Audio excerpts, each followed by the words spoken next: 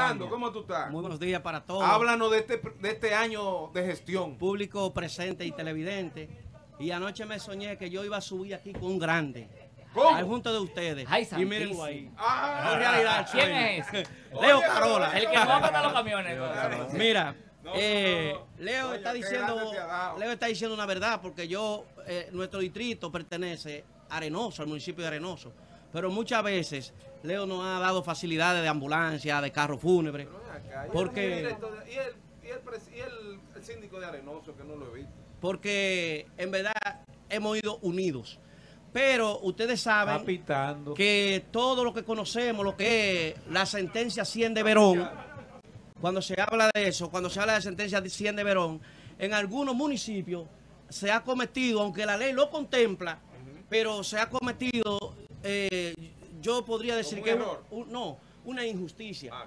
Porque yo nunca he visto bien que un arbitrio que llegue al distrito haya que partirlo con el municipio cuando el municipio ni siquiera va a recoger basura, va a arreglar un camino. O sea, eso, yo espero que eso un día se resuelva. No, ustedes lo porque, pueden resolver perfectamente. porque todos no son como ¿Dónde Leo están y Pitico. suyos?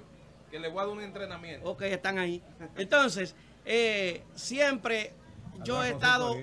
Sí. Yo he estado pensando en que eso debe resolverse, pero con Leo y Pitico aquí eso no ha pasado. Ellos son unidos a nosotros. Y, y Leo sabe que yo le ofrecí mi servicio. No me llamó jamás, pero para que se creara aquí una oficina de planeamiento urbano, en el caso, y que los distritos Eso ciertamente tienen en la ley una participación desconcentrada, es decir, que tienen la similitud de funciones, pero requiere, lo único que ustedes requieren es establecer los arbitrios para el, muni- El para el distrito y el y que lo avale el Consejo de Regidores del municipio cabecera y automáticamente tiene fuerza de ley en ustedes. Ahora, Pero- no puede colegir esos, esos arbitrios con los lo que dice el código tributario que son los impuestos.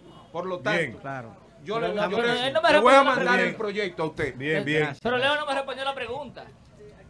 De si nos pueden prestar por lo menos uno. Uno no, dos. Yo me quedo Atención, con uno. Con el- atención, con el alcaldía de San Francisco de Macorís. Tenemos dos alcalde de. San Francisco, que no ayuden entrar a Quiero saludar, allá hoy. quiero saludar el alcalde de Guaraguao que está con nosotros. Silencio, que llegó el alcalde de El Guaraguao. alcalde ¿Qué de? Guaraguao. Silencio. Buenos días, alcalde. Buenos días, ¿cómo están? ¿Cómo se siente? Y a ver si el micrófono está abierto. Sí, está abierto. Si Sí, no le presto este, si no.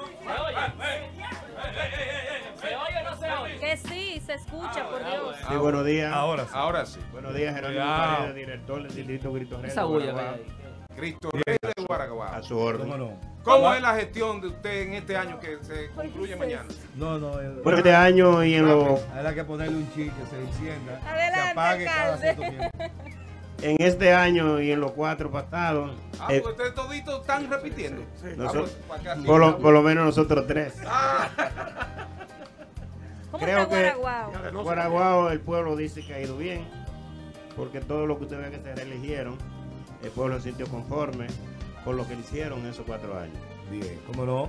Todos Bueno, señores, esto, esto ha sido un programa Sí. interesantísimo. Ya estamos en la parte final, en la parte programa. posterera de este programa. Pero dame un minuto más para el Cógelo. síndico de Guaraguao. ¿Qué es lo Cógelo, que pasó? Cógelo, cógelo. Jerónimo Paredes, alcalde de Guaraguao, ¿cómo va a combatir la delincuencia ya con estos casos que han, que han acontecido, la Claro. droga y todo este desorden Sí. que ¿Qué lo que está dice pasando? que allá no se puede Hay estar? gente ¿Qué, que qué cree pasa? que eso es desarrollo cuando hay droga en los Déjame. Eso hablar, es de déjame hablar al alcalde. Bueno, qué bueno que le han tocado la pregunta a un hijo de Guaraguao, que entiendo que le duele y debe dolerle a Guaraguao, porque Fulvio Ureñas nació en Guaraguao. A ese señor lo buscaba yo a las 3 de la madrugada para hacer gestión de ese distrito. Fulvio de Guaraguao, entonces. Fulvio es de Guaraguao, criado y nacido de Guaraguao. Eh, Entonces, ¿Y ha vuelto a Guaraguao? Sí, Fulvio siempre ha ido a Guaraguao. Fulvio Ay, no ay, ay. Déjamelo hablar ayer ya. Entonces, con la pregunta que mi ingeniero Ureña me hace, nosotros hemos hecho varios llamados, varios llamados al señor presidente de la República, porque entendemos que no podemos llamar a la policía en estos casos. Ay, En estos casos. ¿Cómo No así? podemos llamarla. Usted tiene que, eh, el ejército, ¿usted entiende? Que, Yo no sé quién, lo determinará el señor presidente de la República. ¿Qué le han dicho a usted? ¿Cuál es la razón que está provocando? ¿Cuál es la causa de estas muertes cuerpos descuartizados. ¿Por qué dice doctor Fadú? Matanzas masivas. que- Sí, muy ¿Qué bien. le han dicho? Mira bien, nosotros es que tenemos un problema, yo se lo decía al general San Francisco Macorís, y es que no hay control de nada en nuestro distrito, absolutamente de nada. Hay varios puntos de droga, varios puntos de droga, y usted grave. le pregunta a un niño de 10 años Y sabe dónde y está. sabe dónde está. Dios mío. pero usted es el alcalde. ¿Qué yo puedo hacer? No, no puede. no ¿Qué yo puedo hacer? ¿Usted no cree que yo podría crimen. ir?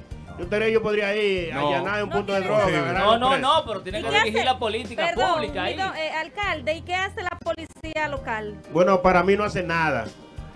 Para mí lo que hace, nada, para mí. Bueno. Para el- aquí que el al- amigo dice que la policía no tiene la culpa. A Cena Roja, que está en San Francisco, O- general de la Roja. Póngale atención a estas denuncias, son las comunidades vivas Carolina, ¿qué fue lo que hablando, tú dijiste? hablando de la problemática de su, de su Ay, lugar. Dios mío. Mire, Así el caso que- que, eh, no puedo dejar de mentar. El que ha pasado últimamente, el pasado domingo, o el lunes en la mañana, porque fue a las 3 de la mañana. Ajá. Ese caso pasa frente a frente al cuartel de la policía. Sí, sí, Y estaba abierto ese negocio como toda la noche a las 3 de la mañana. Claro, o sea que Y toda la noche pudo haberse amanecía. evitado eso. Podía haberse evitado. Leo, ¿qué tú me decías? Y no ese solo.